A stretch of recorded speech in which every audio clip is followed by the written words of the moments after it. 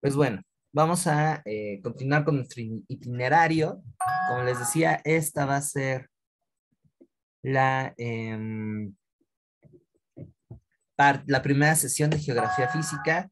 Nos vamos a ir moviendo en un concepto que se llama geosistemas. Y esto ya manera de introducción. Y hace referencia este término al conjunto de entidades bióticas y abióticas en los que se va de alguna manera a dividir el espacio geográfico.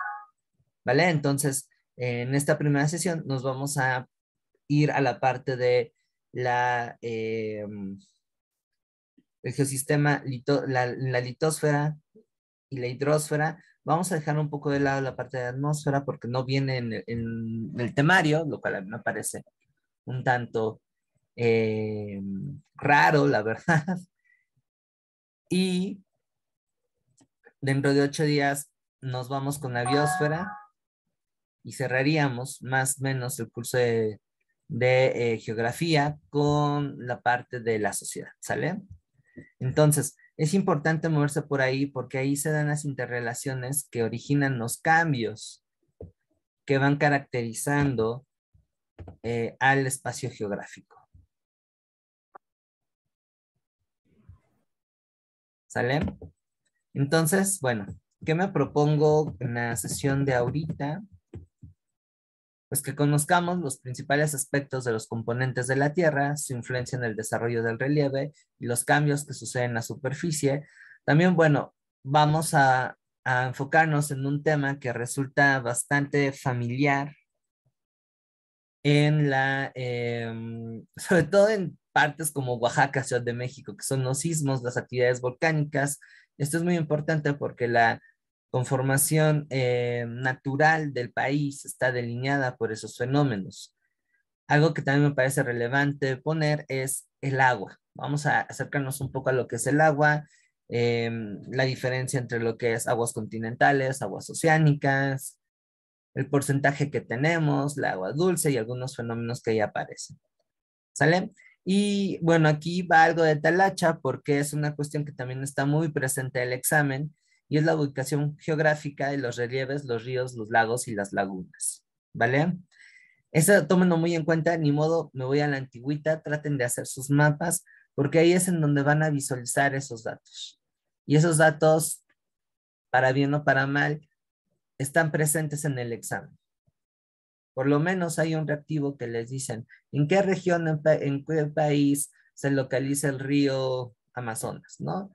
Y además va capciosa porque ponen, es un río que es como límite entre tales países, ¿no? Entonces, no nada más es hacerlo como quizá nos enseñaron en educación básica, sino eh, vincular algunas características, ¿no? Pero sí es importante el mapa.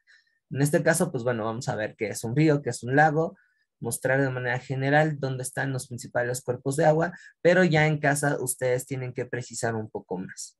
Me parece que en el manual les dejé una tabla en donde están localizados los ríos, los lagos y no solamente eso, también lo que es el relieve, ¿vale? Entonces ahí pónganse trucha, como diría mi mamá. ¿Hay alguna duda, pregunta, comentario?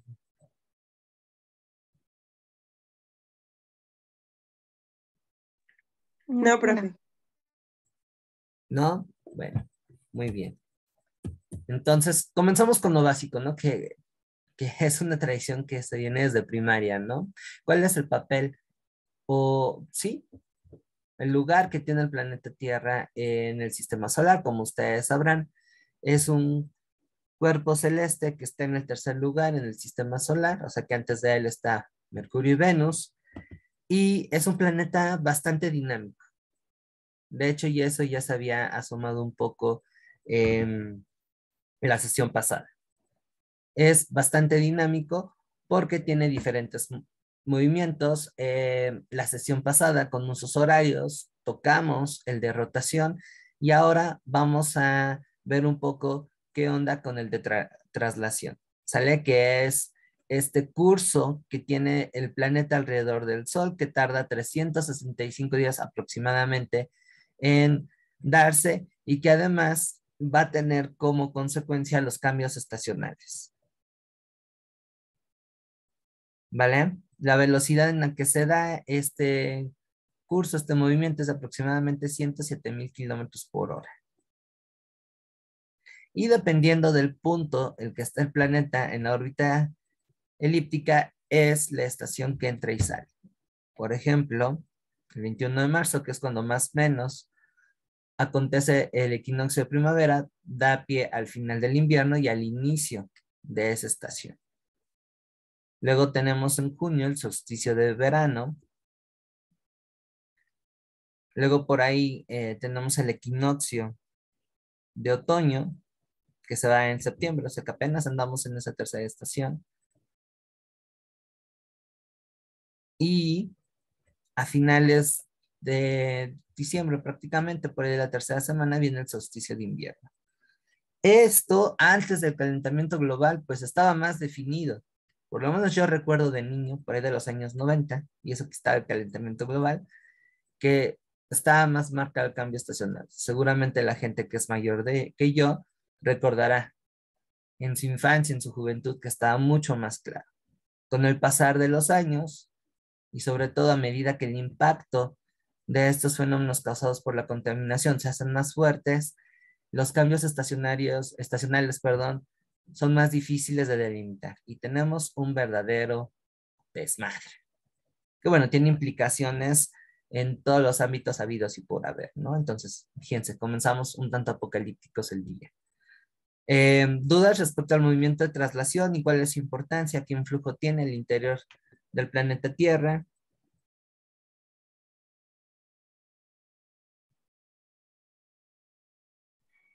No, profe.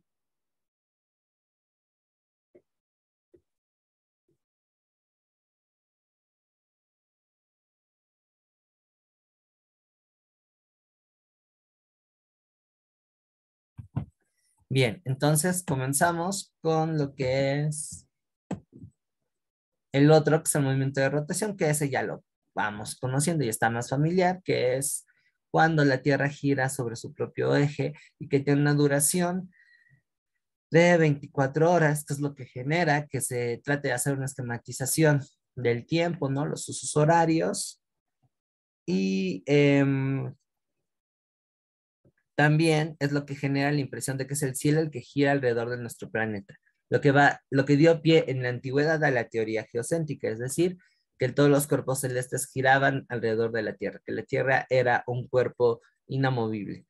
Que bueno, ya vimos que no es así. Llegó un tal eh, Nicolás Copérnico en el siglo XVI y rompe con esa teoría y propone el modelo heliocéntrico.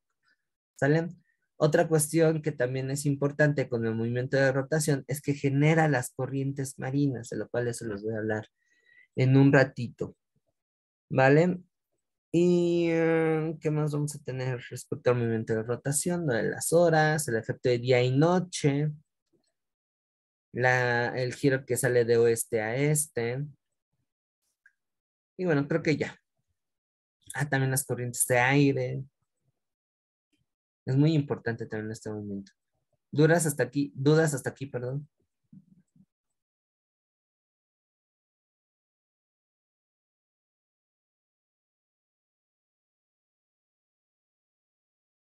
No. Muy bien. Gracias, chicas. Eduardo, Edgar, perdón, ¿tienes por ahí alguna duda? No, todo bien, muchas gracias. Bueno. Ay, ¿por qué no los escucho tan chiquitos? No sé si es mi, mis audífonos. Bueno, pasamos a, a lo que sigue. Y nos vamos con la estructura del planeta. Gracias, chicas. Bueno, eh, la estructura del planeta, imagínense la que es como una especie de naranja mezclada con rocaleta. No sé si se acuerdan de esas paletas que antes venía, venía, vendía Sonrix, que en el centro tenían chicle y, y habían varias capas. No sé si recuerdan esas paletas. Sí. Ok. Bueno, entonces imagínense que el planeta Tierra es así no es propiamente un círculo, una esfera, es más bien un, una, especie como de elipsis, ya que está achatada por los polos. Y bueno, como si fuera una rocaleta, pues está dividida en tres áreas. El centro chicloso, que más bien sería el núcleo, el manto, que va a estar dividido en dos, manto inferior y manto superior, y la corteza terrestre, que es en donde están las eh, plataformas continentales, ¿no? O sea, cada una de, de esas partes tiene características propias. Por ejemplo, la litosfera es rígida, pero abajo de ella está la astenosfera, que es, que es un espacio en el que está completamente fundido por las altas temperaturas y que tiene pues bastante plasticidad, ¿no? Entonces, a pesar de que la litosfera es rígida, ya aquí vamos notando por qué los sismos se llegan a sentir, ¿no? También por aquí está la, zona de subducción, que es la que va a hacer que desaparezca material y, y emerja nuevo. Y bueno, todo esto va a incidir en las modificaciones en la corteza terrestre. De ahí que a lo largo de la propia evolución del planeta, las plataformas continentales no sean las mismas. Y ya en el fondo, pues bueno, tenemos espacios como la mesósfera, que es un poco más rígido, y el núcleo. ¿Sale? Aquí se ven un poco las profundidades. Entonces, bueno, con esto se descarta la teoría que planteaba Julio Verne en el viaje al centro de la Tierra, de que es una Tierra hueca. Y la verdad es que no. estaría padre, ¿no? Está, está buena esa novela. ¿Dudas respecto a cómo está estructurado el planeta?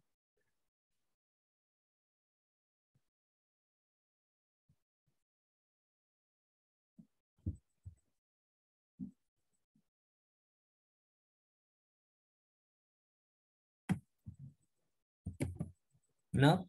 Bueno. Vamos con, ya vimos que es un cuerpo celeste bastante inquieto, entonces van a haber muchos cambios. ¿Vale? Y los cambios que eh, se van a dar en la superficie terrestre van a explicarse a través de dos teorías que se complementan, la deriva continental y la tectónica global. La deriva continental es algo así como la historia de las placas tectónicas. Es decir, que a través del curso de las diferentes eras geológicas, la superficie terrestre ha sufrido una serie de transformaciones. Dichas transformaciones van a, darse a raíz del movimiento de las placas tectónicas. Y esto, bueno, es un reflejo del dinamismo que tiene el planeta.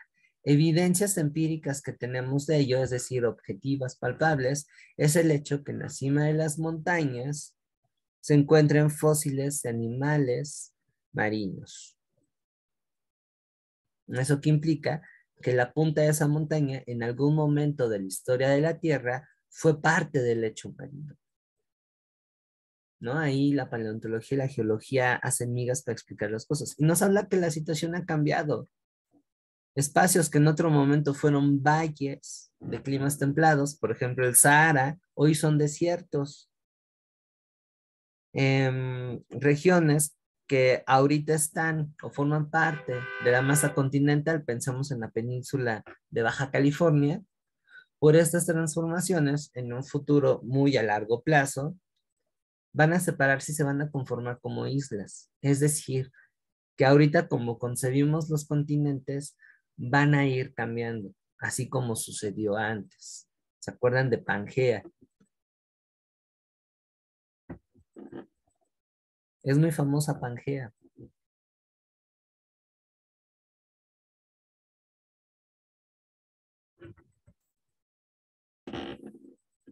No, no sé, no se acuerdan de Pangea. Incluso aquí la tengo en la, presentación.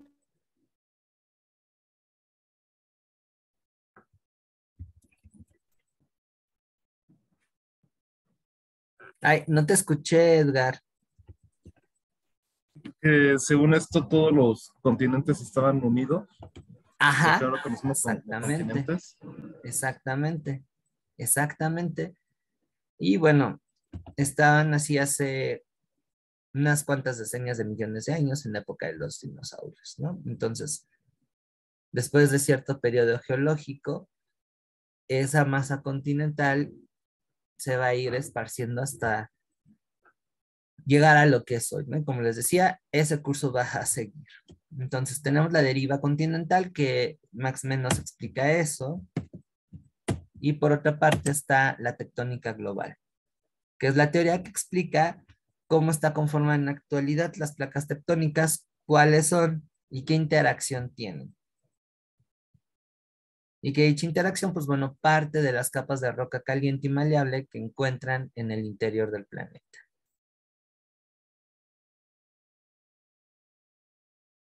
¿Ok?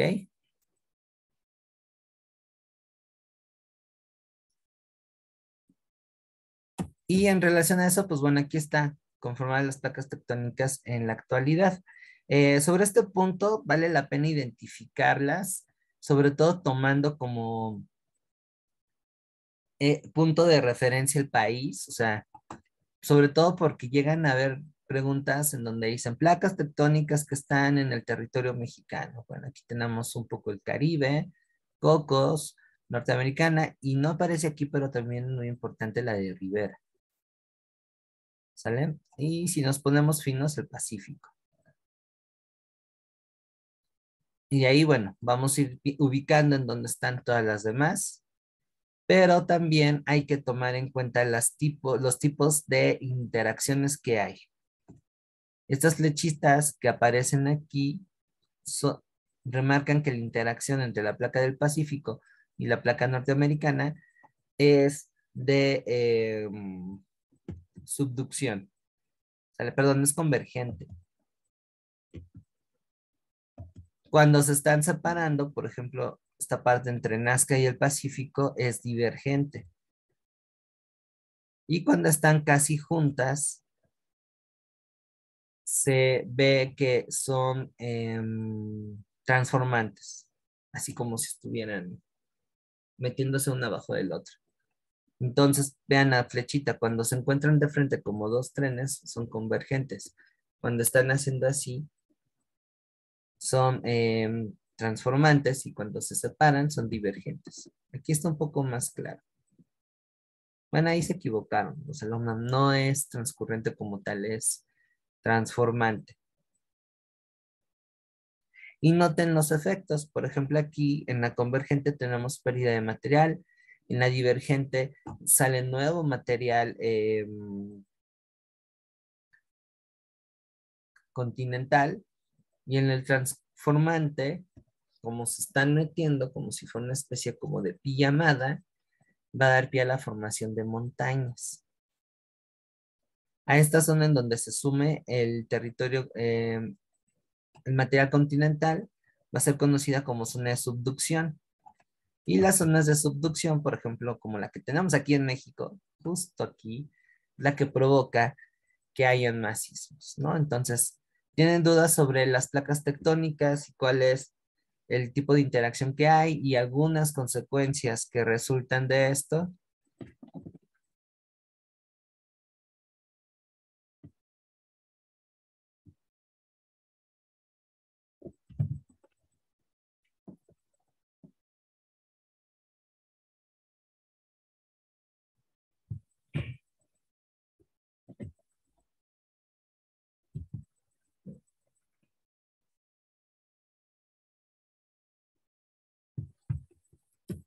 Fácil, ¿no?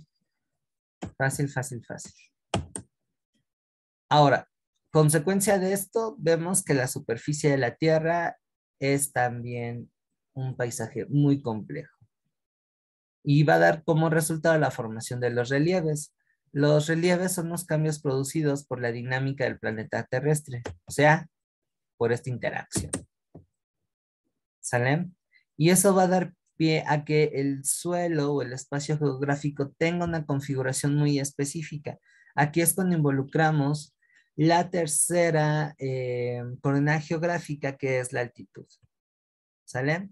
El relieve lo vamos a poder apreciar en distintas formas y tamaños, tanto en los continentes como en los océanos.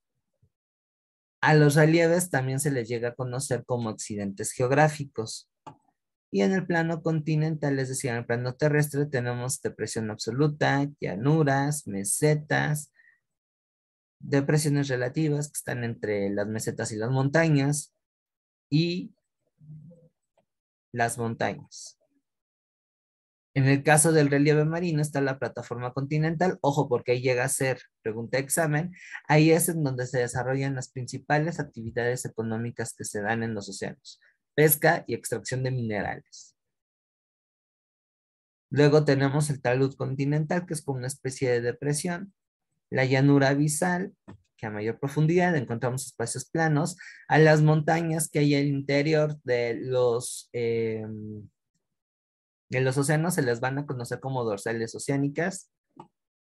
Y digamos que los, la, los abismos, por así decirlo, que están al interior de los océanos, que es el punto más profundo hasta donde conocemos, porque se dice que hay más, imagínense, solamente hemos explorado el 15% de los océanos, sabemos más del espacio y creo que ya hasta podemos desviar planetas que em, lo que hay en el fondo de los mares, ¿no? Entonces,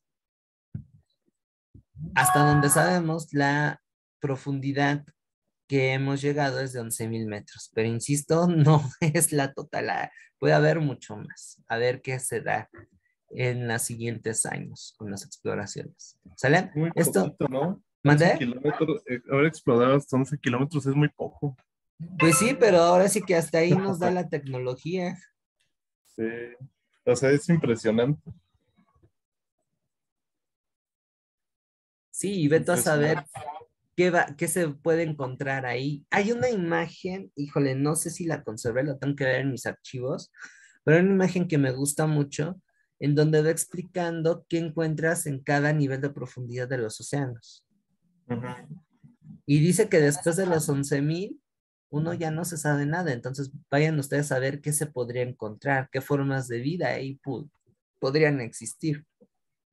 Sí. No sé, a mí me resulta fascinante y muy atractivo. Capaz de que ahí se adaptó el megalodón, por ejemplo, ¿no? ¿Quién sabe qué hay? ¿Mandé?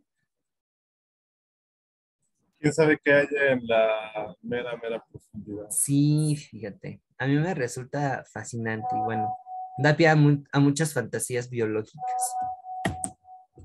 Bueno, vamos a centrarnos en aquellos relieves que son importantes para el ser humano. Aquí tenemos en un primer plano las llanuras, que son tierras bajas que están a nivel del mar o no sobrepasan los 500 metros sobre el nivel del mar.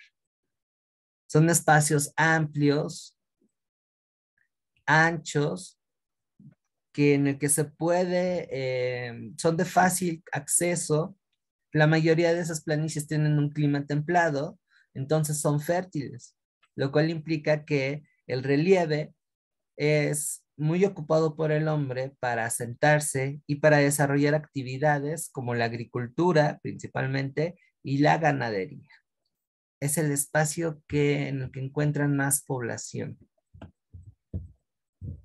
por todos estos factores. Y aquí vamos a ver que ustedes deben de ubicar las principales llanuras, tanto que hay en el mundo como en México. Y de preferencia háganlo en un mapa, ¿sale?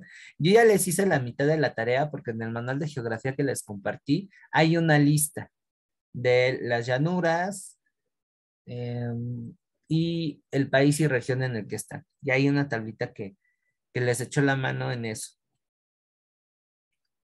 Pero bueno, es importante que ustedes lo ubiquen en un mapa porque también es necesario que identifiquen a qué país pertenece o por dónde atraviesa, ya que eso puede llegar a ser pregunta de examen. Y por supuesto, tampoco no es hacerlo enciclopédico, es ubicar las principales llanuras, tanto a nivel nacional como a nivel internacional.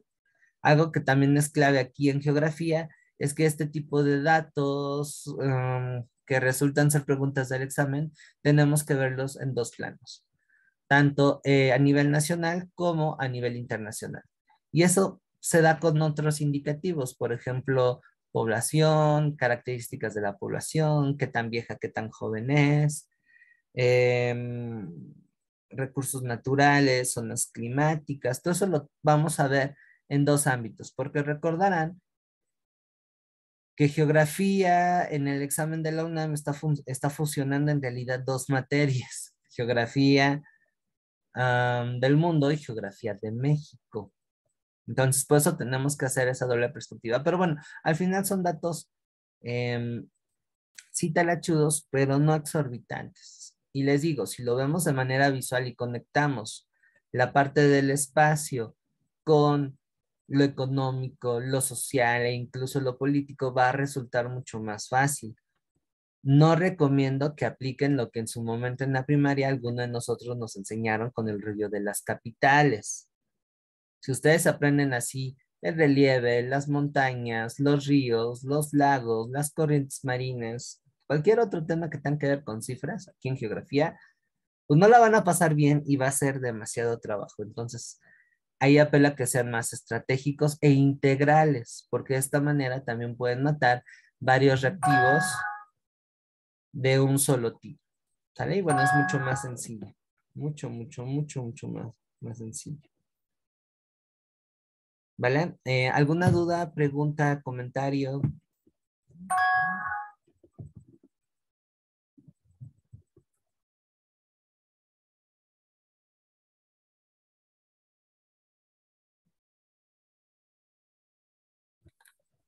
No, bueno, entonces em, vamos con las mesetas, que es el segundo relieve en importancia.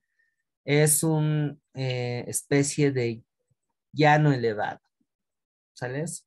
Es como una especie de cazuela invertida, que va a tener una altitud de eh, entre los 500 metros y los 2500 metros sobre el nivel del mar Em, además de encontrar valles estrechos y profundos que generan ciertos desniveles, acá en el Valle de México, eh, al estar en una meseta tenemos presente ese tipo de espacios, tienen usualmente un clima seco y da por consecuencia que se generen pastizales. Entonces aquí la meseta va a tener como principal actividad económica la ganadería.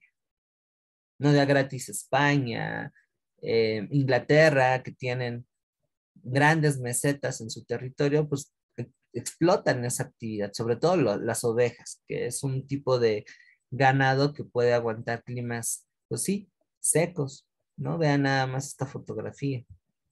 No se ve muy pintoresco que digamos en relación a la, a la llanura, que es un poco más templado, más, más padre. Aquí no.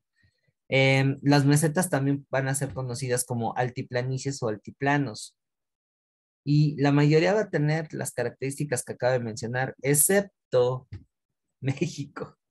México hasta en su geografía resulta ser un tanto contradictorio, porque las principales mesetas que hay en el país, el altiplano mexicano, que está entre lo que es Durango y Coahuila, y el altiplano central o meseta de la Náhuac, que es lo que hoy es el centro del país, es decir, pasando la Sierra Madre Oriental en Veracruz, yéndote hacia Ciudad de México, llegando casi hasta Michoacán, todo eso es el altiplano central o meseta de la Náhuac.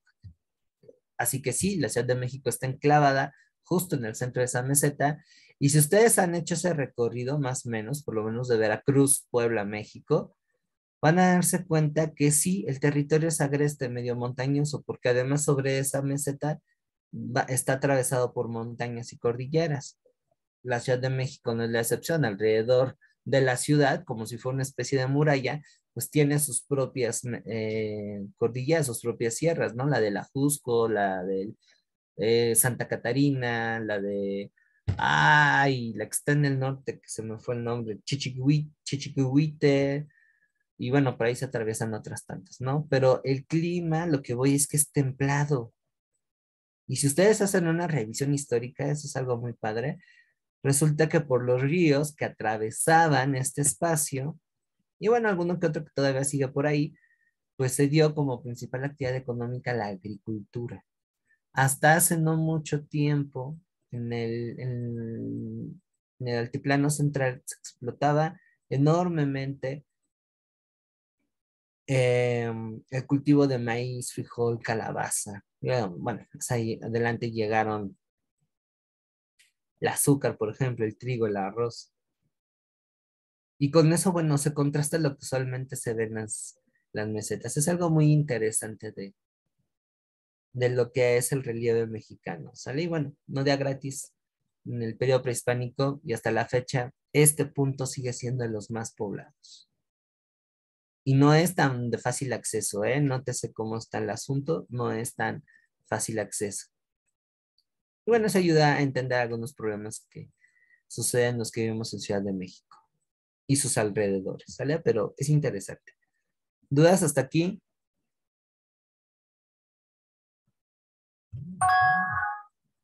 No, ¿No? Ahora nos vamos con el tercer relieve, que es el, menos eh, habitado por el ser humano, que bueno, se entiende por qué, las montañas. ¿Sale? Las montañas van a ser áreas inclinadas con una fuerte pendiente que van a oscilar entre los 2.500 metros sobre el nivel del mar y los casi 9000 si tomamos en cuenta al Everest como el punto más eh, con mayor altitud del planeta. ¿Sale? A la agrupación de estas montañas que van a ir de lo seco a lo em, frío, dependiendo del clima. De hecho, tienen un clima específico, la región de montaña. Pues va a llevar a que sea no solamente el menos habitado, sino que tenga elementos económicos específicos, ¿no? El conjunto de estos, estas cumbres se les va a conocer como cordilleras o sierras. Sierras específicamente en lo que es México y España. ¿Sale? Hay tres tipos de montañas, las de plegamiento, las de falla y las de volcánica. Y por su altitud también se pueden dividir en baja montaña, que son aquellas que no superan los 10.000, los 2.500, no, mentira, los 3.500 metros sobre el nivel del mar hasta la alta montaña, ¿no? Que bueno, aquí en México somos bien genéricos, ¿no? Todo lo decimos ser, hasta el pop. Ahora, ¿qué actividades económicas van a, a desarrollarse en la montaña?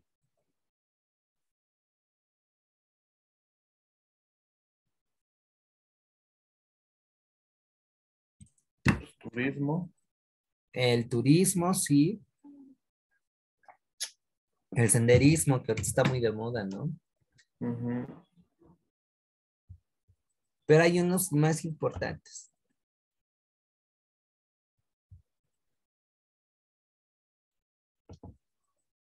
Y esa es una actividad que ha hecho que pues México en teoría sea un país rico al ser una nación con muchas montañas y cordilleras, pues hace que... Pues, Minerales. exactamente. La principal actividad económica de, de este relieve va a ser la minería. Acuérdense el Señor de los Anillos, el Hobbit. ¿Sale? Y en menor medida la cría de, de algunas especies de ganado especializadas o, perdón, adaptadas a este tipo de ambientes, por ejemplo, cabras, borregos.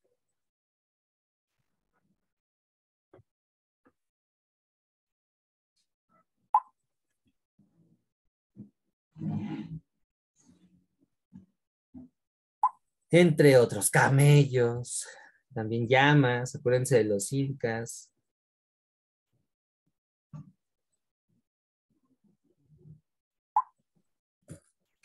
entre otros.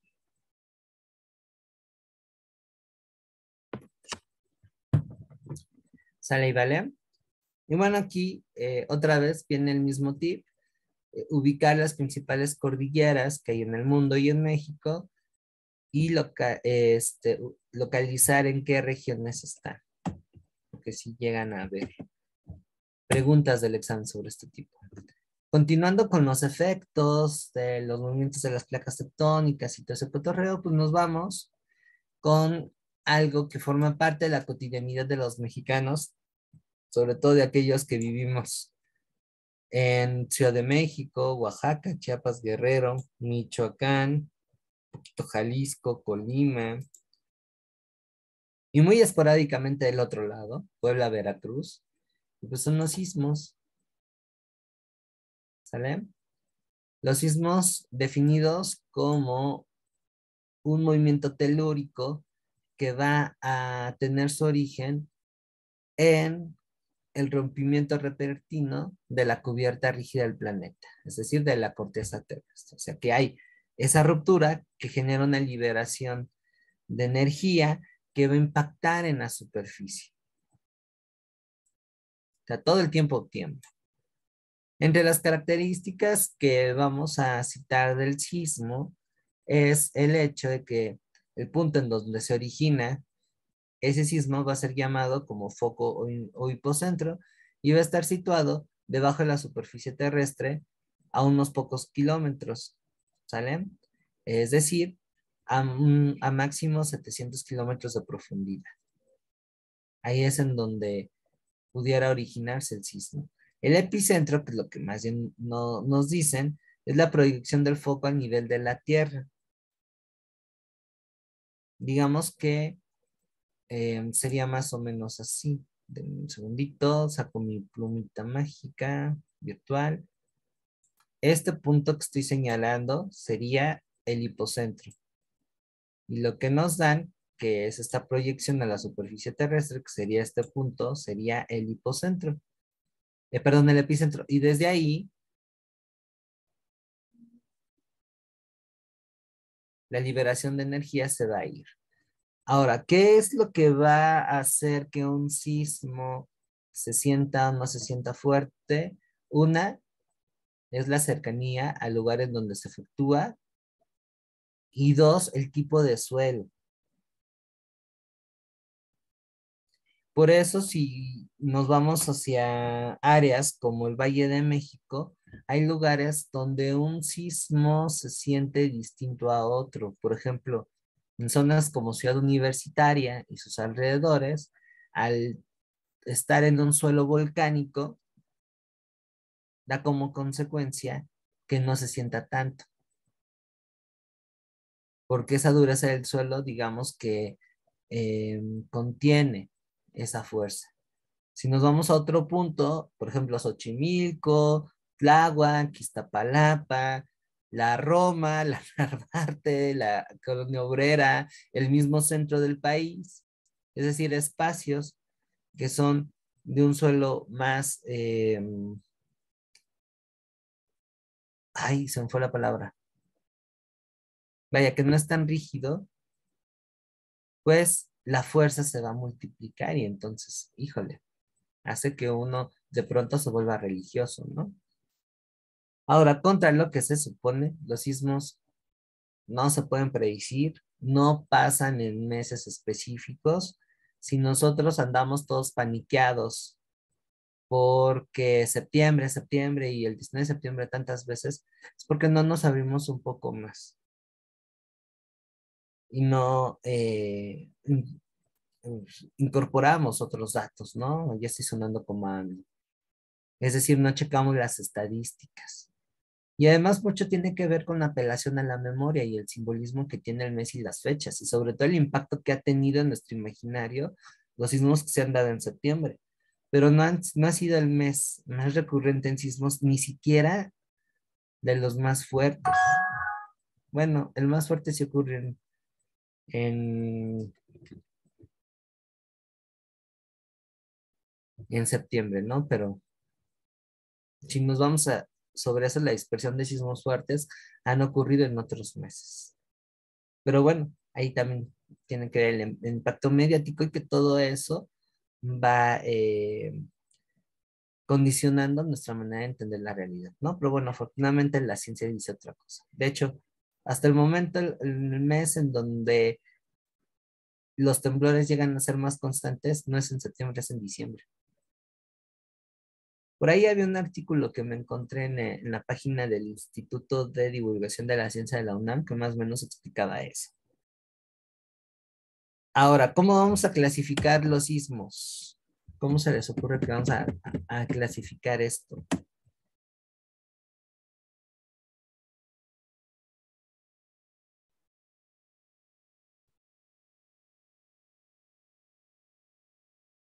¿Por la magnitud? Por la magnitud, muy bien. Esa es una. Perfecto. ¿Y cuál sería la otra categoría que ocuparíamos o el otro criterio? Por el daño que ocasionan. Mm, no, ahí iría con la magnitud. Además bien sería la intensidad. La intensidad se mide a partir del, del daño que ocasiona. La magnitud es la fuerza como tal.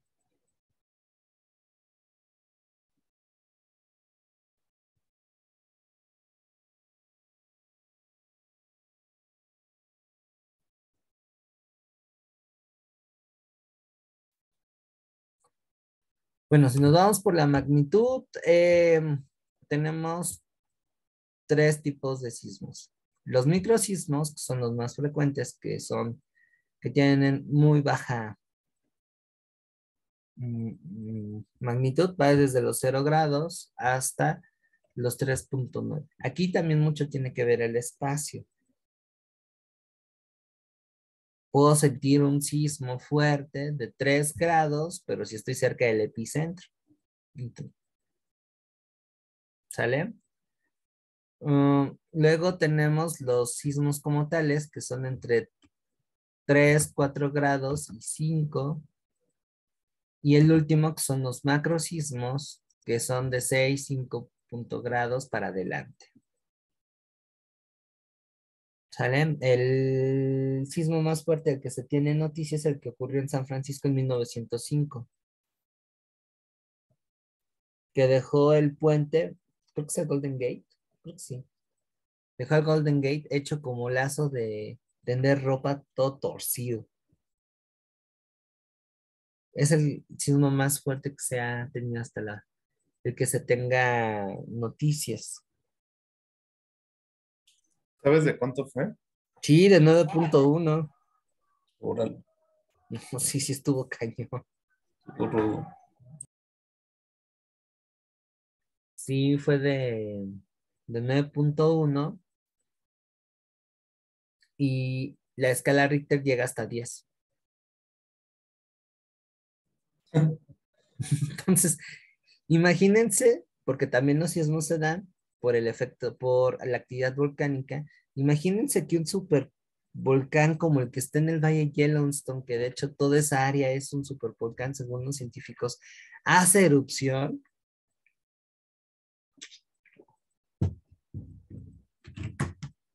Va a generar un sismo que proyectan, ahí habría que ver qué tan cierto sea, porque pudieran proyectar una magnitud de 12 grados.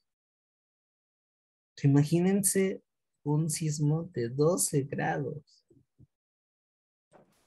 Oye, aparte tomar en cuenta que cada grado que pasa aumenta de manera exponencial la intensidad. Exactamente. Y otra vez involucramos también el tipo de relieve y de suelo. No, no me imagino el, el, el relajo que, que se aventaría, ¿no? Pensando en la actividad volcánica, si en algún momento el Popo llega a hacer erupción, habría que ver de cuánto sería el sismo.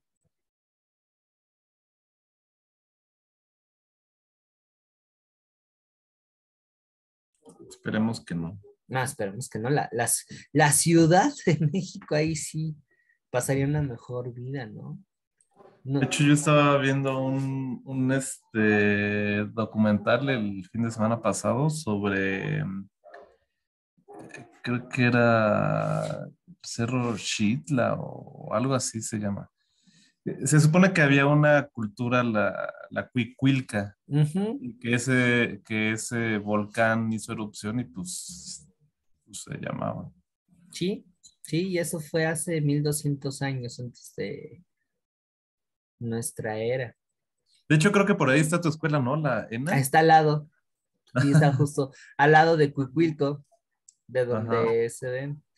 Sí, y el volcán Xitle es el que está sobre Tlalpan, justo en uh -huh. la serranía de la Jusco, sí. en el pico del águila. Y gracias a esa erupción volcánica, es que toda esa zona, hasta casi llegando a Coyoacán, tenga suelo volcánico. Ciudad Universitaria está sobre una de las zonas que afectó.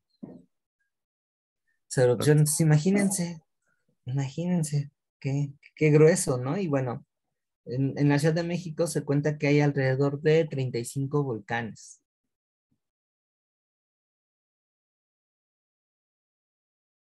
Pero por fortuna todos están apagados. Bueno, pero el Popo no está apagado. No, pero ese lo tenemos hasta Puebla. O sea, no está tan cerca.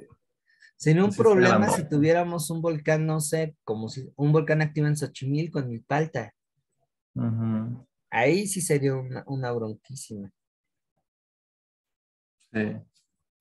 Bueno, es, es, es, algo muy interesante. Dato cultural también, las principales zonas de actividad sísmica están en la parte en donde las placas tectónicas rozan, es decir, son como en los límites de las placas tectónicas.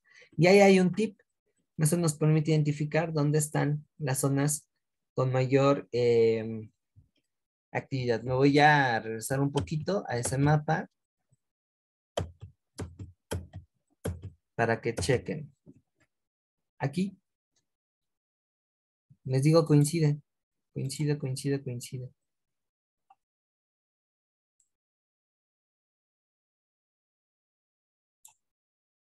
Haití, por ejemplo, tiene broncas porque está muy cerca de un límite de placa tectónica. Otro tanto sucede con Costa Rica, Perú, donde también llega a temblar mucho. Panamá, la selva del Darien. Eh,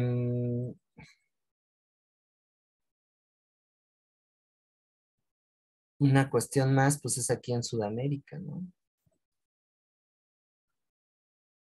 Y en algunos casos también se empalma con actividades volcánicas. Por ejemplo, acá, la parte del Mediterráneo, Grecia, el sur de Italia, Turquía, por ejemplo, en esta parte de África, las Canarias, Ah, ya no hablemos de Japón. Japón también está muy cerca de los límites de placas tectónicas. No da gratis esta zona de lo que es eh, Oceanía. Tiembla mucho y hay muchos volcanes. ¿No? Entonces, ahí se comprueba lo que les decía en un principio.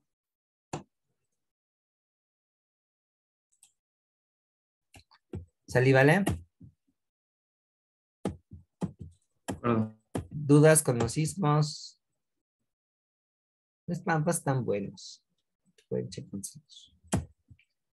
Y nos vamos con los eh, volcanes.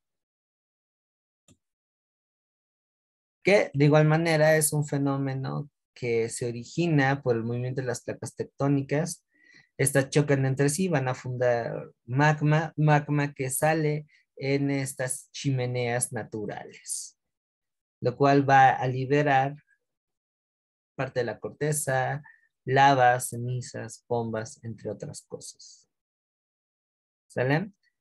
Beneficios de la actividad volcánica, pues bueno, vamos a tener áreas de atractivos turísticos, ya estábamos hablando ahí del montañismo, el senderismo, em, los minerales que, van que va a exhalar y que va a expulsar van a servir para hacer más fértiles los suelos que están a sus alrededores.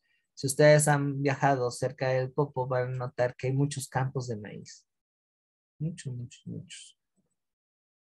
¿No? Eh, los minerales y los diamantes se forman por la acción volcánica, altas temperaturas, eso, está, está brutal. Eh, son una fuente de energía geotérmica, geotérmica, que bueno, eso va a ser gracias al calor del suelo. Y em, pues bueno, no es recomendable estar cerca de un volcán. Si no, pregunten a los de Pompeya.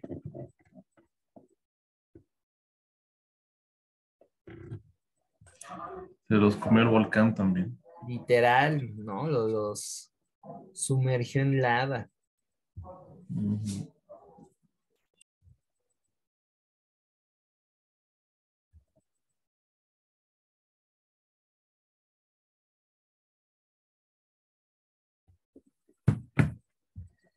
Ah, nos vamos con las zonas volcánicas, tanto de México como del mundo.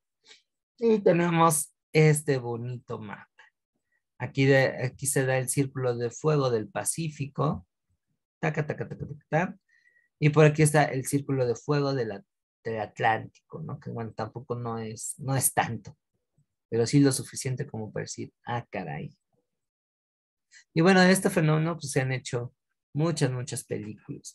Por ahí vi un documental hace muchos años, lo tendría que buscar y ver qué tan fiable es, sea del History, pero era de las buenas épocas del History, no de las de ahorita, en donde explicaban cuáles eran los posibles eh, riesgos que tenía la Ciudad de México y cuáles podrían hacerla colapsar. Y uno de ellos era justo estar cerca de, bueno, más bien estar en una zona volcánica. Entonces sale el Popo, Iztaccíhuatl, creo que el Iztaccíhuatl también está activo, y no sé si otros volcanes que están en el Estado de México estén así activos.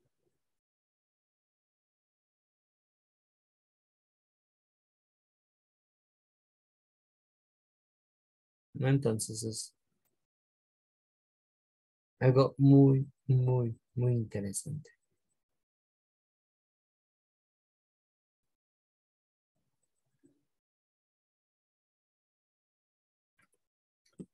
¿Dudas, preguntas, comentarios?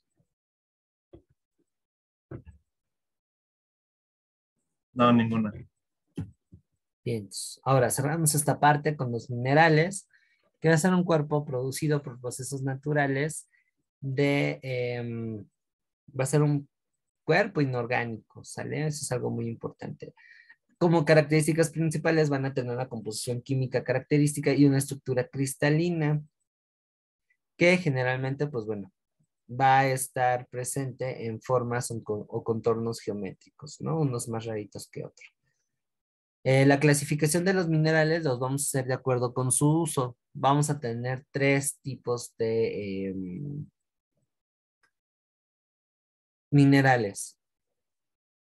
Los ornamentales o preciosos, oro, plata, platino, bueno, el rodio y el paladio no tanto pero sí las piedras preciosas, los diamantes, etc, etc, etc, etc, etc, etc, etc.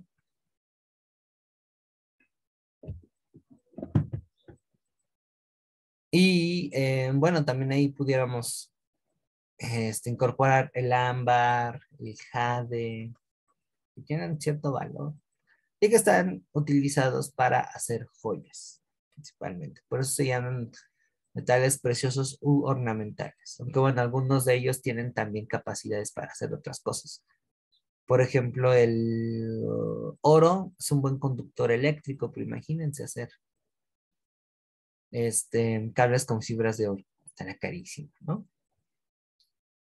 Ahí apelo a que tengan a que vinculenlo con química y física, ¿no? Ahora tenemos los metales industriales, que son muchos, vamos por los más importantes, aluminio, hierro, azufre, carbón, mármol,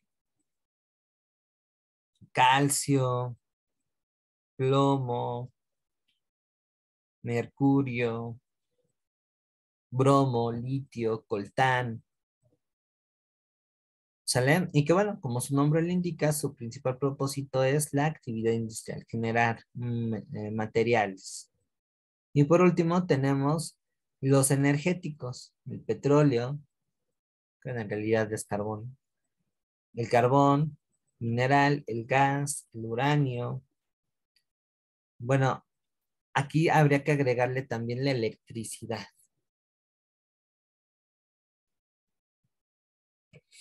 ¿Sale? Entonces, bueno, aquí el examen se pone un poco incómodo porque les piden que ubiquen los primeros productores de esos minerales a nivel mundial y en el caso de México, cuáles son los estados que producen X, Y, minerales, ¿no? Bueno, aquí México por lo menos tenemos la plata, que seguimos siendo principales productores desde el siglo XVI. Y bueno, por ahí está el oro, ¿no? acá, el cobre en Chile. Y bueno, ahí pueden verlo en la gráfica. Este mapa es hermoso. También eh, manual viene eso, pero trata de identificar, identificarlo en un mapa. Solamente los tres, los tres primeros productores de los minerales más importantes, porque si no, caerían en la trampa de la talacha. Donde luego la UNAM sí se pasa de lanza es que les preguntan sobre el coltán y sobre em, lo que es el litio. Sí, ya me topé con una pregunta que tiene que ver con el litio. ¿Ok? Entonces. ¿Les preguntan sobre cuál y cuál? Sí, sobre coltán. País productor del coltán. O lo llegan a vincular incluso hasta conflictos bélicos. País que por el coltán, llega a tener conflictos bélicos. Bueno, entonces Congo. Ahí hay que tener mucha atención con la lectura. ¿Qué más? ¿Qué más? ¿Qué más? ¿Qué más? ¿Qué más? ¿Qué más? ¿Qué más? ¿Qué más? ¿Qué más? ¿Qué más? ¿Qué más? Por ahí. Y bueno, el litio. El litio. Sí, le llegan a preguntar del litio. Me parece que China. Ahí no estoy ¿Del coltán cuál es? Eh? El Congo. ¿Congo?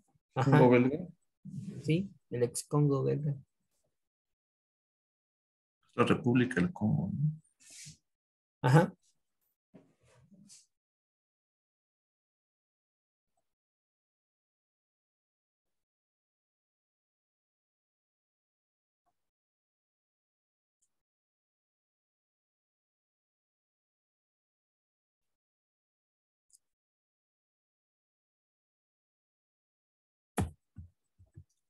Y bueno, aquí está la producción.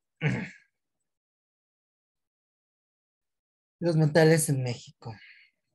Y esto, por ejemplo, nos llega a dar un antecedente de lo que es la última parte, que son elementos económicos del país, bueno, aspectos económicos del país.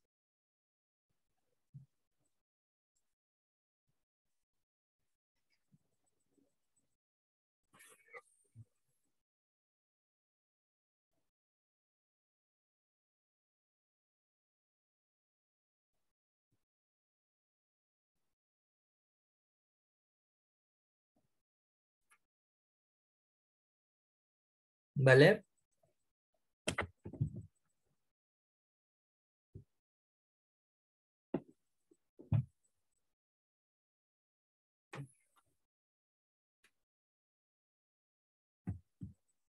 Bueno, ahora nos vamos con el agua. El agua, pues bueno, va a ser un compuesto químico que va a ser fundamental. Perdón, ¿te puedes regresar al anterior? ah, claro, claro, claro. Perdón. Eh, nada más, este. De La Plata, según yo, debe ser al norte del país. Nada más quiero ubicarlo. Zacatecas. Zacatecas, ¿verdad? Sí, por Fresnillo, exacto. Sí. es este, el de La Plata. Ajá. Sí, ¿verdad? Sí, AU es oro. AU es oro. Ok, listo. Gracias.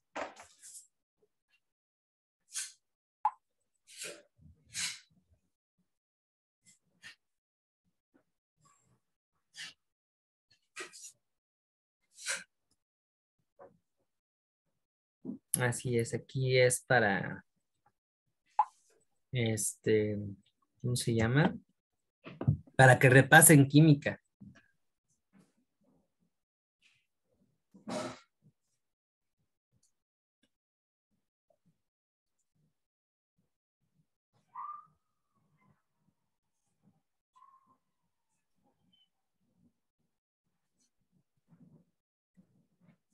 ¿Va que va?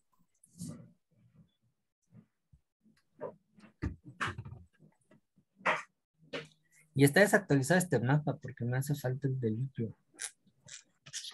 Creo que ahí estamos en tercer lugar. La verdad es que la naturaleza se portó muy buena onda con México, pero algo no está fallando. Algo está fallando, perdón. Bueno, pasamos a lo que sigue, que es em,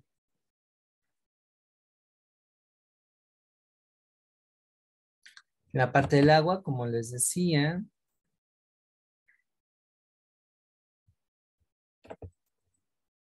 Va a ser un compuesto químico fundamental para la vida en la Tierra. Entre los roles que juega el agua, pues es un solvente natural, un conductor eléctrico, regula el clima y a través de las lluvias limpia, por así decirlo, el entorno natural. En cuanto al ser humano, el agua tiene los siguientes aspectos.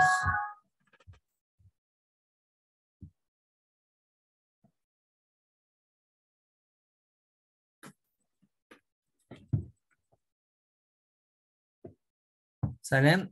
Va a servir para la ganadería, forraje, para la industria. Por ahí el Museo de Ciencias Universum tiene una sala que se llama este, Reciclando R3, creo que se llama. En mis tiempos así se llamaba, ahora quién sabe si siga. Pero estaba muy padre porque decían qué cantidad de agua se necesitaba para producir diferentes productos. Y venía desde un kilo de carne hasta un pantalón de mezclilla y es brutal la cantidad, ¿no? Entonces vemos, por ejemplo, que la escasez de agua no parte tanto por los malos hábitos de las personas, sino por la acción industrial. Y fíjense, eso no se toca. Bueno, también eh, para el agrario, los canales de riego, la minería, con eso de estar ahí, em, ay, se me fue el nombre, drenando los túneles, y también la contaminación que se a ocupar a través de la minería.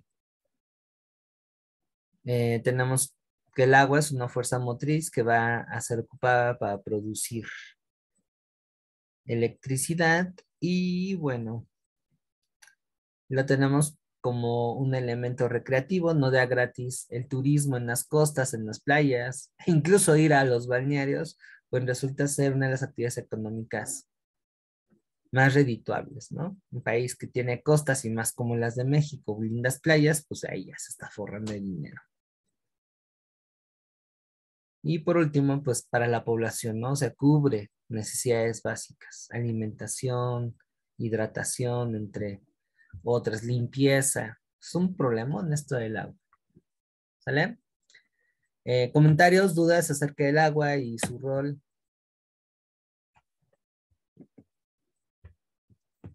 No, ninguno. No, ahora nos vamos a un tema que lo, que lo checamos desde primaria y que incluso hasta aparece en la publicidad de algunos refrescos, el ciclo hidrológico.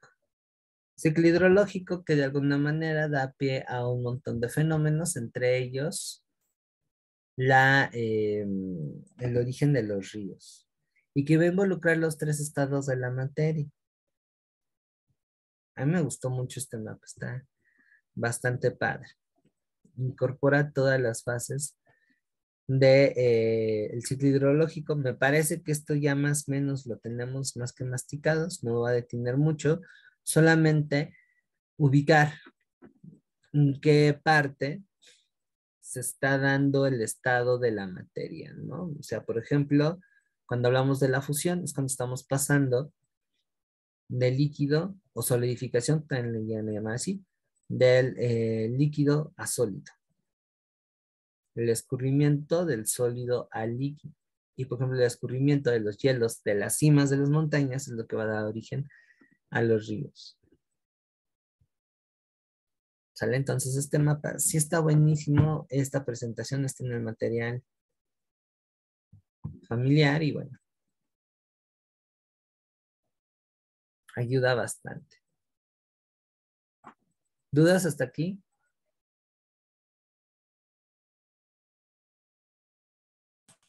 No, ninguno. Fácil, ¿no? Ahora, de acuerdo al ciclo hidrológico, tenemos dos tipos de agua. El agua dulce y el agua salada.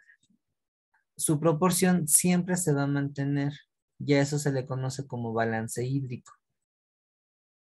¿De acuerdo? Según la ciencia, el del total de agua disponible que hay en el mundo, el 97% es agua salada.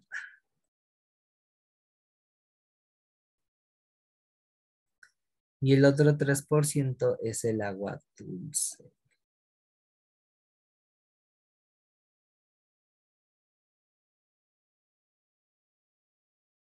De ese 3%, los casquetes polares y glaciales ocupan el casi 80%. Las aguas subterráneas son el 20% y el agua dulce superficial de fácil acceso, lo que serían los ríos, el 1%, imagínense. Y estamos hablando de que toda esa cantidad inconmensurable de agua dulce solamente el 3%. Imagínense, bueno, no, en mi caso, mi imaginación no me alcanza para visualizar la cantidad de agua salada que hay. Ahora aquí se viene la bronca. Porque de ese 1%, el agua de fácil acceso, los lagos representan 52% de los cuerpos más contaminados. El río solamente sería el 1%, se imaginan, está cañón. El agua en los seres vivos, el 1%, el vapor de agua atmosférico, el 8%, y la humedad, el 38%.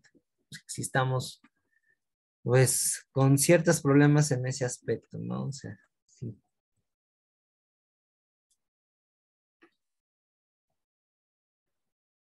Sí tenemos un, un problema, un grave problema.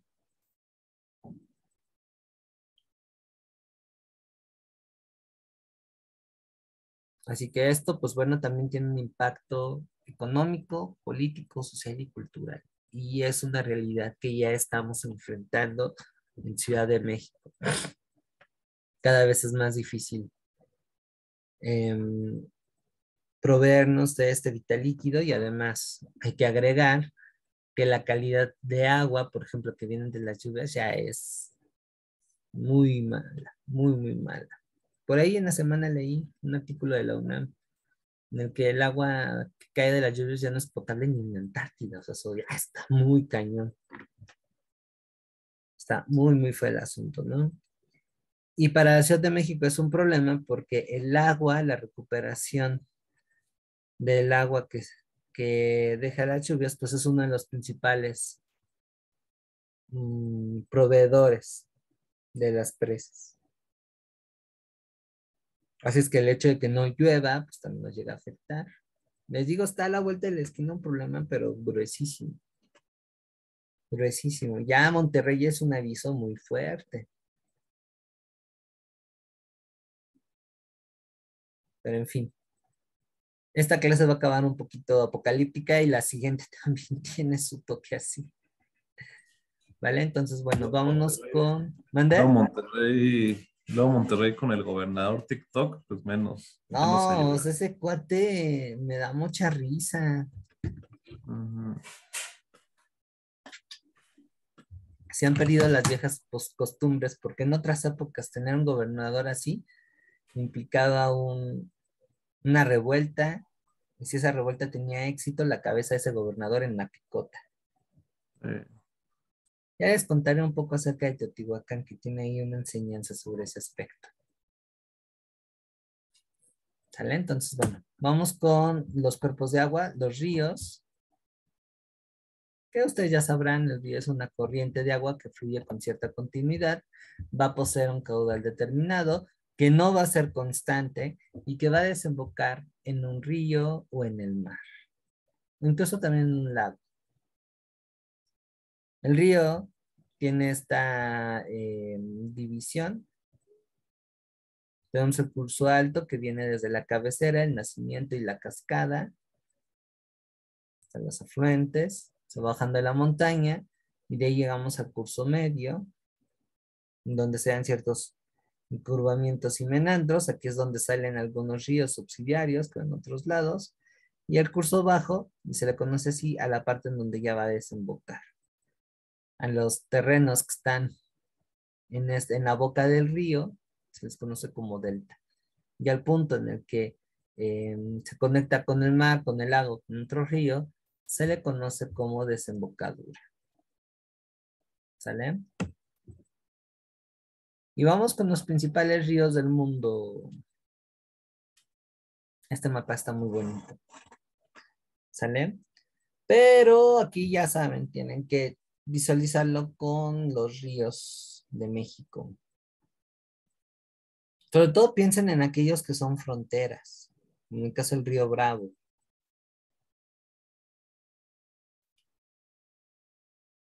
Y el Colorado, ¿eh? También llega a ser frontera con México. Vámonos por el lago. El lago pues va a contener el 52% del agua continental. Son depósitos de agua dulce que se van a ubicar en depresiones. Hay diferentes orígenes de esos lagos por sismos, por erosión, sale entre, entre otros. Em, como se ve, es un cuerpo de agua con bastante accesible. En algunos casos se llegan a alimentar de ríos, por ejemplo el río Victoria, que de hecho el río Victoria es el que va a dar origen al, río, perdón, el lago Victoria es el que va a dar origen al río Nilo. Bien. Aquí ando, güey. ¿Sale? Y otra es ubicar los, los lagos más grandes del mundo. En este caso es el mar Caspio, que en la antigüedad se pensaba que era un mar, que sí, sí era un mar, que era el fin del mundo. Lo que les faltaba investigar a los griegos a los romanos. Que bueno, después sí sí supieron que más allá de ese mar había otras tierras.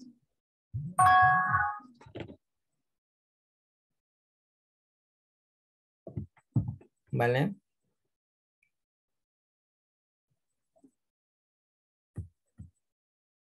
Y ya que nos pasamos de las aguas continentales, ríos, lagos, lagunas, nos vamos con, los fenómenos que suceden en el mar océano, ¿no? Y el primero que vamos a ver son las mareas, que son los cambios que experimentan las aguas de los océanos a nivel del mar debido a la atracción gravitatoria que ejercen tanto la luna como el sol. Y dependiendo de la posición de estos dos astros, tenemos mareas vivas o altas o mareas bajas y muertas.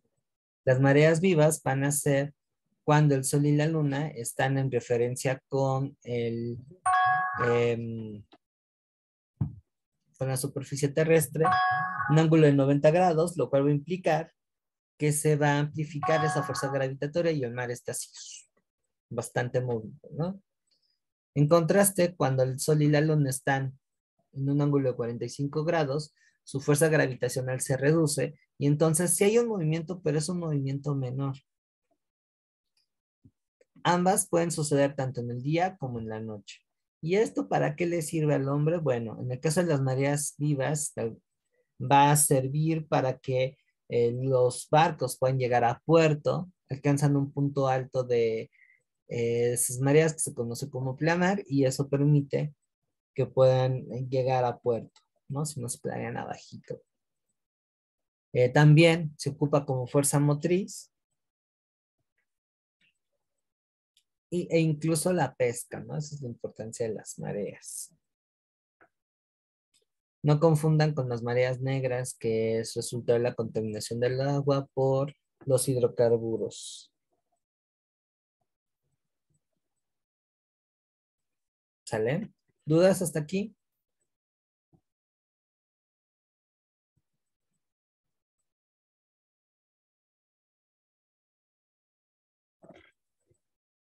Pleamar es cuando está más fuerte la marea en esa zona. Ajá. Ok. Sí, así es. Así es. ¿Sale? ¿Alguna otra duda?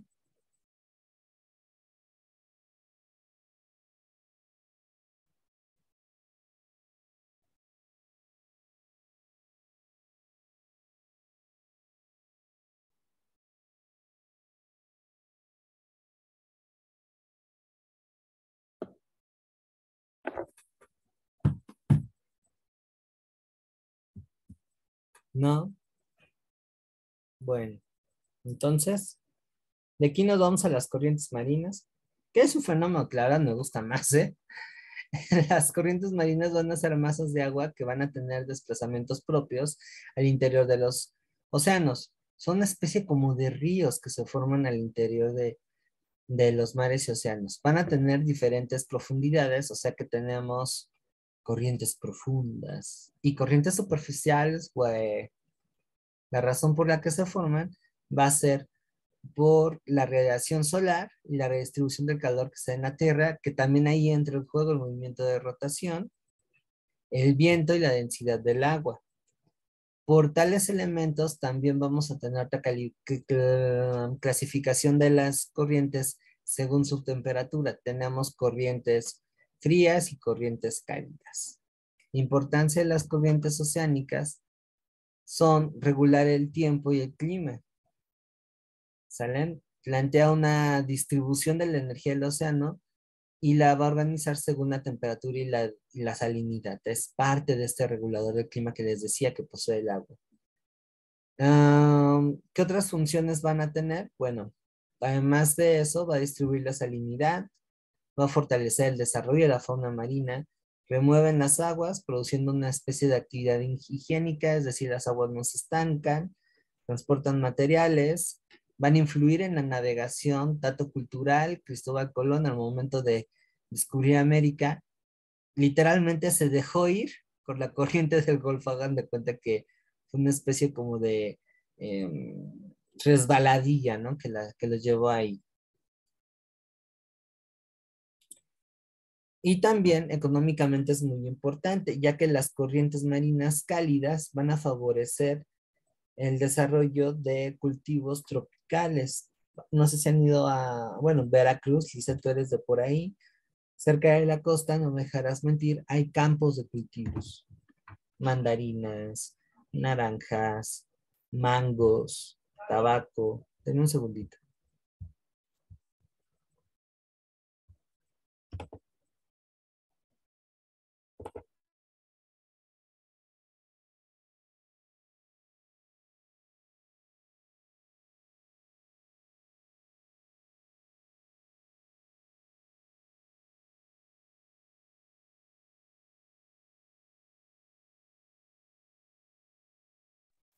Ya discúlpenme, ¿no? Por otro, por otro lado, las corrientes frías van a, van a favorecer la pesca. Y ese es un tip también para la parte de actividades económicas en México. Porque van a coincidir eh, las corrientes frías con las zonas de mayor actividad pesquera. Por ejemplo, pensemos en México, en la zona de Baja California, Sinaloa, Sonora, va a conllevar ser ahí la zona mayor explotación pesquera de México. Atún, sardina, jaiba, camarón. No quiere decir que en otros lugares no se practique la pesca, por supuesto que sí, pero no va a tener el mismo rango, ¿no? Entonces aquí pues estamos matando dos pájaros de un tiro, porque si hablamos de cuáles son las zonas pesqueras más eh, ricas de América, pues tienen la corriente de Perú, por aquí pasa. Esta zona, no de gratis Chile también destaca por ser una potencia pesquera. Las dos costas de Canadá, por ejemplo, tanto la del Océano Atlántico, la península de Labrador, como por la parte de Alaska. De hecho, hasta hace poco hubo un em, documental, bueno, hace unos años, sobre la pesca de cangrejo allá que se llamaba pesca mortal sí es muy rica, pero también está bastante peligrosa. Acá en México, insisto, tenemos la corriente de California. Si nos vamos al viejo continente, la corriente de Oyashi hace que Japón también sea una referencia en la pesca, ¿no? Lo mismo que Sudáfrica, lo mismo que Nueva Zelanda y Australia. Entonces son son tips que si uno los sabe entender y los maneja con lógica, les va a llevar a responder preguntas que usualmente se presentan problemáticas para el examen y se complican porque tendemos a memorizar y la memorización aquí no nos ayuda mucho. Pero si enchufamos los temas, ahorita que estamos hablando de, de em, el agua, sus características, su impacto económico con las actividades económicas que hay alrededor del mundo. Y luego lo pensamos en la lógica, por ejemplo, de la, de la globalización y de conflictos políticos eh, actuales, pues bueno, ante ese aprendizaje integral hace que sea más fácil.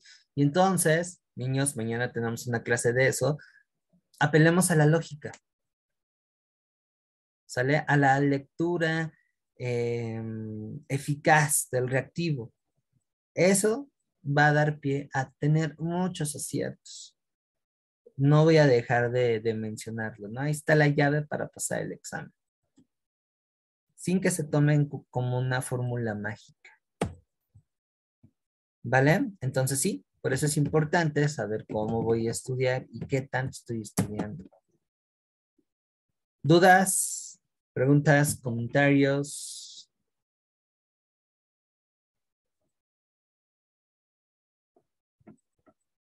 ¿No? No, profe. Muy bien.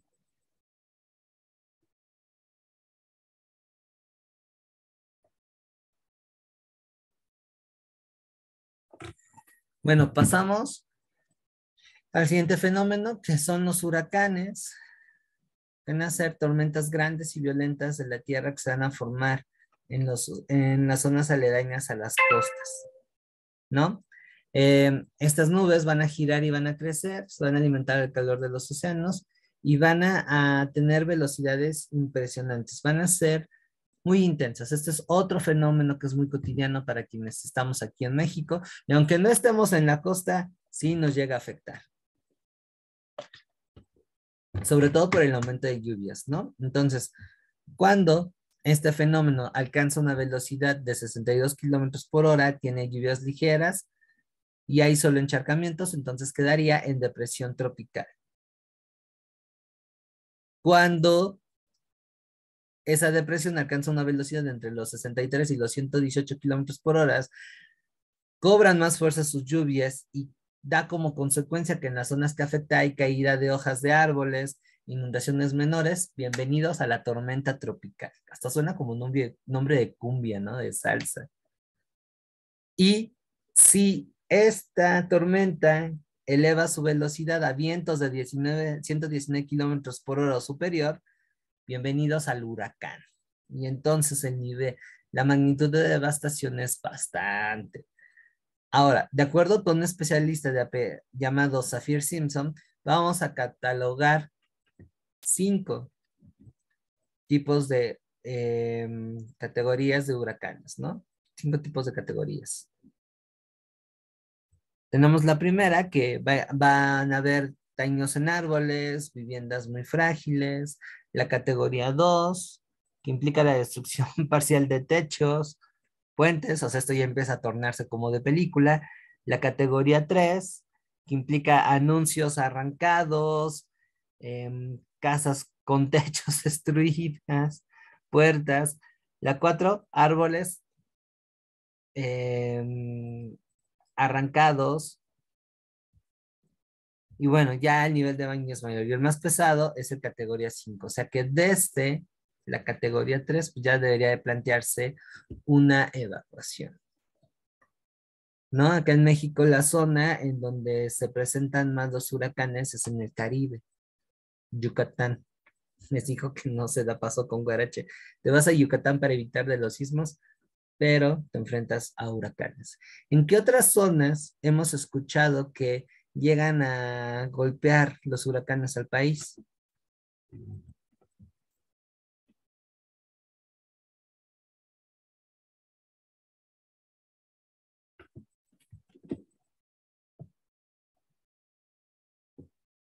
¿Dónde más, chicos?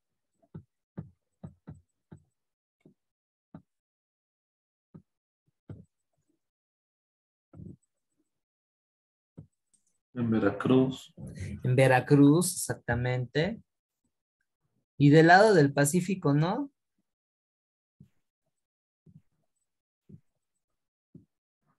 No sé si en Oaxaca.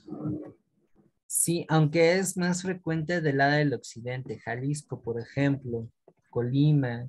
Por la, por la, sí, ¿verdad? Por las temperaturas es más frecuente del lado del Golfo.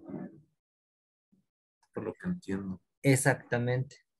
De hecho, fíjate que yo tengo una duda. O sea, yo tengo entendido que ese tipo de fenómenos pasa más en estas zonas que son más, este, pues sí, tropicales. Exacto. Pero más hacia el norte de los países, o sea, del planeta, no sé si pase. Por ejemplo, Canadá o así, este, en las mismas costas de Europa, según yo. Se llega nada más a tormentas tropicales y ahí la, la razón, una, es la temperatura y dos, la presión atmosférica. Baja California también, ¿no? De hecho, hace poco andaba un huracán por allá. Y bueno, un caso famoso es el del huracán Patricia, que va a buscar ese meme, que está genial, es inmortal supuestamente iba a ser el huracán más devastador de la historia y choca con la Sierra Madre y se deshace. Se deshizo, ¿no? Que eso es algo que em, deberíamos de agradecer a la madre naturaleza. Que literal, México tiene dos muros que son una especie de parapeto para los huracanes que son las sierras madres. El hecho de que México tenga montañas por doquier minimiza mucho el daño que pudieran generar estos siniestros. Que por otro lado también te afecta, por ejemplo, cuando en la contaminación, pues se queda todo ahí, ¿no? Aunque eso más bien es por la actividad humana. Pero, por ejemplo, lo que me refiero es de que como que no circula el viento como en una planicie, supondría, ¿no? Ah, sí, claro. Sí, sí, sí, sí. Unas de cal por otras de arena, ¿no? Pero es bonito, fíjense, ya desde esta perspectiva, yo les confieso que cuando estaba en la secundaria, en el bachillerato, me costaba trabajo y llegaba a detestar, este, eh, detestar este tipo de temas, pero ya cuando me tocó impartirlos y empezar a encontrarles una lógica, pues resulta muy interesante, fíjense. Sí no sé, uno se queda picado, ¿no? A mí me encantaría tener un curso más especializado de parte de un biólogo, de un geógrafo que me enseñe estos vericuetos, porque está bueno, la verdad es que está bueno. Uno descubre cosas bien, bien simpáticas. Bueno, cerramos con esto de lo que es el mar, con las zonas de pesca, que les había comentado también y que aquí está el 20% de la producción petrolera, ¿no? Otra razón más por la que México es rico. Somos ricos pobres. Y la razón de por qué hay tantos recursos en los mares nos explica, nos explica Jacques Cousteau, uno de los exploradores marinos más famosos de la, de la historia. Amaba los océanos. No sé si por ahí han visto documentales de Jacques Cousteau. E, e, es un cuate genial. A mí me gusta mucho sobre su vida, lo que hizo y lo que divulgó, porque al final fue divulgador. Y la razón del por qué tenemos tantos recursos en el mar se debe a que son aguas poco profundas y ahí, bueno, México tiene pues mucho de dónde, o sea, dos litorales es eh, tener una fuente de recursos importantes. Los rayos del sol penetran esas aguas y las sales minerales llegan a enriquecerse, entonces lo cual eso va a dar pie a la fotosíntesis, que como ustedes sabrán, a partir de sus clases de biología, es el principio de la cadena alimenticia y entonces, bueno, de aquí para el real, la fotosíntesis genera plancton y plancton da pie a que hayan otras especies de animales. Por eso, eh, en las corrientes frías, por ejemplo, y en zonas poco profundas, es en donde están las áreas de pesca más eh, importantes, ¿no? Y bueno, con esto cerraríamos el tema de hoy. Eh, aquí hay otras referencias. Esta presentación tiene una carpeta Drive. Y bueno, no sé si tienen comentarios finales, eh, inquietudes que por ahí hayan quedado pendientes, alguna crítica constructiva a la clase, ¿les funcionó, no les funcionó? Cuéntenme.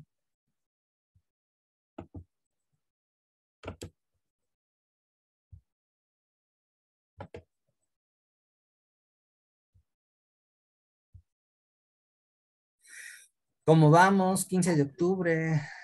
Todo bien, profe. Muy, bien. ¿Cómo van esos ánimos para el examen? ¿Ya más tranquilas, tranquilos o siguen sobrepasados por los nervios?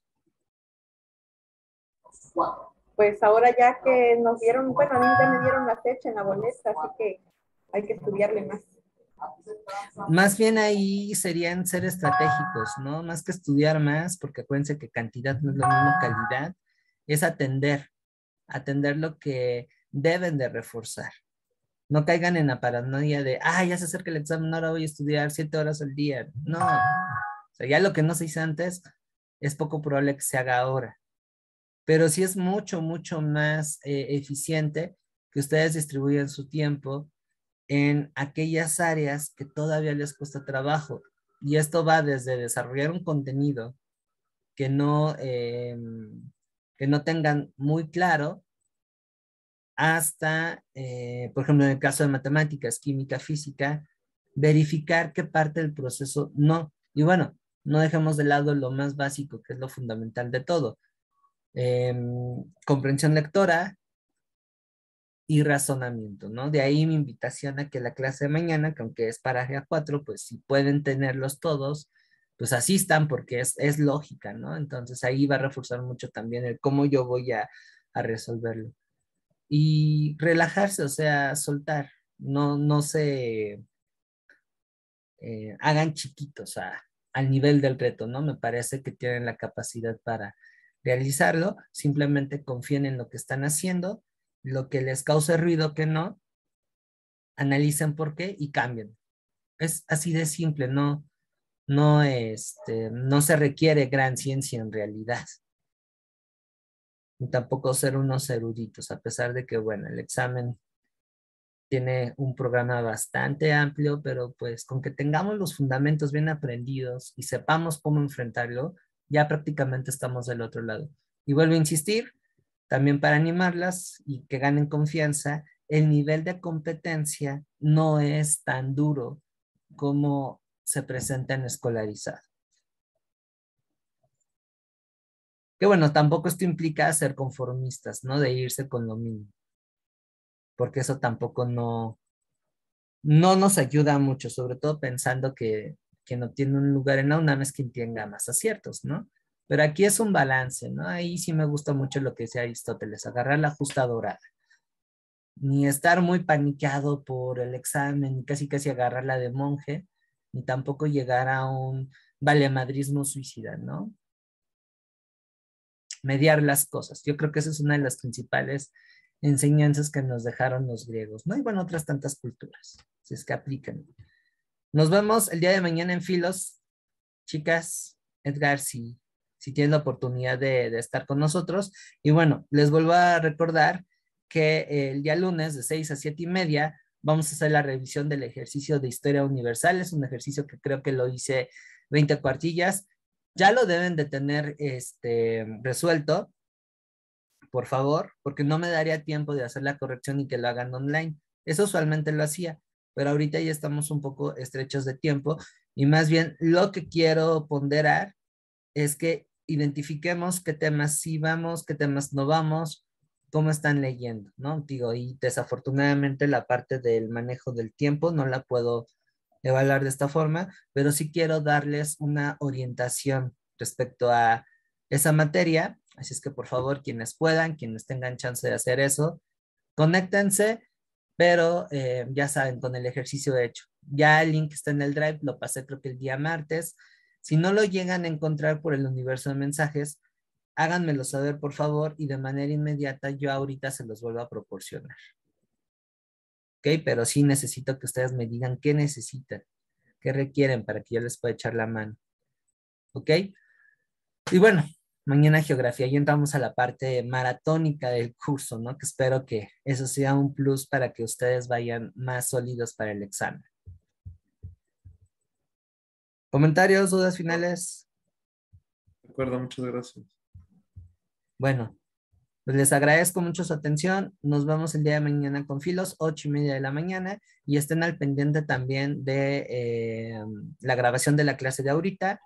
espero tener la oportunidad de subirla antes de que lleguen a tener su clase de mate y hablen con ellas si van a tener este, sesiones extras para irme organizando con ella y ver si si sí se va a dar, porque medio me comentó algo, no sé si en algún momento se los dijo en clase y ya me quedé ahí con la duda. ¿Sale? Entonces, platican eso e infórmenme por favor, ¿vale? Cuídense mucho. Saludos. Gracias, adiós. Hasta luego.